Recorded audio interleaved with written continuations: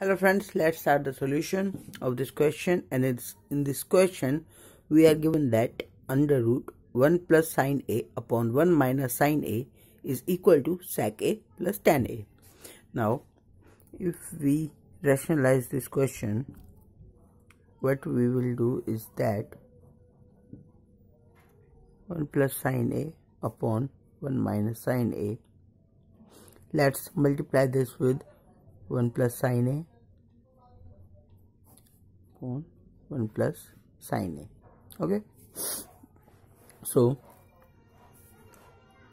now it will become 1 plus sine a whole square and it is nothing but 1 a minus b a plus b.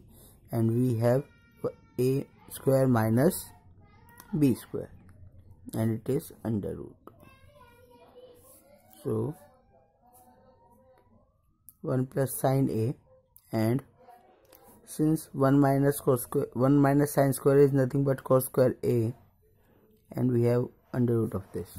So it will become 1 plus sine a upon cos a. If we write them separately we can write it as 1 plus cos a plus sine a upon cos a. And 1 upon cos a is nothing but sec A plus tan A which is our RHS hence value.